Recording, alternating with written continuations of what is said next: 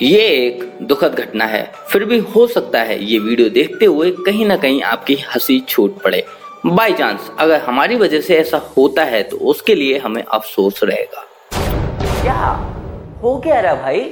नहीं मतलब बकरी? बकरी का रेप कौन करता है? और वो भी सालों ने तब तक उसका रेप किया, जब तक वो मर नहीं गई मार्केट में भी अगर ये लोग उस बकरी को बेच देते तो तीन से चार हज़ार रुपए की बड़े आराम से बिक जाती। पास में एक जीवी रोड था, सबके सब वहाँ चले जाते, सबका काम आराम से हो जाता और उन्हें ये सब करने की ज़रूरत भी नहीं पड़ती। हद है यार, नहीं मतलब आते कहाँ से हैं ये लोग?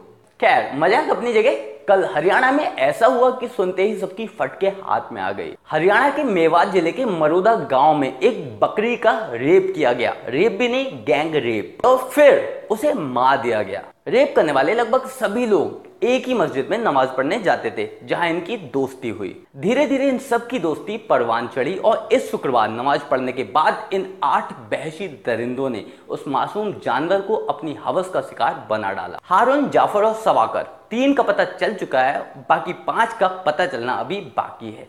दो साल की इस मासूम बकरी की मौत पे सोशल मीडिया में भी जम के आक्रोश है। कई लोग कैंडल मार्च निकाल रहे हैं तो कई लोग सोशल मीडिया पर जस्टिस फॉर गोट की तख्तियों के साथ अपने अपने फ़ोटो पोस्ट कर रहे हैं। सेलिब्रिटीज भी इस मामले में पीछे नहीं है और बकरी के कातिलों को सख्त से सख्त सजा दिलाने की मांग कर रही हैं। बकरी हम शर्मिंदा हैं, तेरे कातिल ज़िंदा हैं।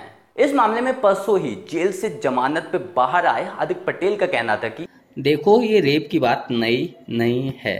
पहले मोदी ने कहा था, अगर हम सत्ता में आते हैं तो बेटियाँ सुरक्षित होंगी।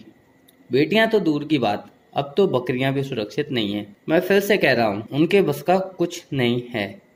वो बस इस्तीफा दे दें, और हरियाणा में ये हुआ है तो खट्टर सरकार भी रिजाइन करे। आज मेरी बातें सुनकर आपको थोड़ा अजीब लग रहा होगा। सोच रहे होगे, बस बकरी ही तो थी। बेकार में मैं बात का बतंगड़ क्यों बना रहा हूँ? मेरे भाई, बात बकरी की है उसकी जान की नहीं है। बात यह है कि अगर ये लोग बकरी का ये हाल कर सकते तो सोचो अगर इन्हें कोई बच्ची मिल जाती तो ये उसका क्या हाल करते? ये हैरानी इस बात की ज़्यादा है कि बात बात पर लोगों के खिलाफ फतवा जारी कर देने वाले मौलाना कहाँ हैं? क्या इस्लाम में ऐसे लोगों का रहना सही है? इन लोगों के खिलाफ फतवा जारी नहीं होगा क्या? यहाँ सिर्फ़ बकरी की जान नहीं गई है। यहाँ सिर्फ़ इंसानियत ने दम नहीं तोड़ा है, बल्कि यहाँ पे इंसान और जानवर के बीच में जो फासले थे, वो दायरों को भी तोड़ दिया गया है। इन दरिंदों को इसलिए फांसी उम्र कैद नहीं होनी चाहिए कि इन्होंने रेप किया, बल्कि इसलिए होनी चाहिए ताकि इन फ्यूचर कभी कोई बच्ची इन शैतानों का, इन दरिंदों का शिकार ना बने। अगर आप सहमत है मेरी इस बात से तो ज़्यादा से ज़्यादा शेयर करें मेरे ये वीडियो साथ ही अगर आप नए हैं इस चैनल पे तो सब्सक्राइब करना बिल्कुल मत भूलिए मेरा ये चैनल साथ ही वो घंटे वाला बटन ज़रूर दबा दें, वरना नोटिफिकेशन के नाम पे आपको घंटा कुछ नहीं मिलेगा। तो मिलते हैं मेरी अगली वीडियो में बहुत जल्द। तब तक के लिए गुड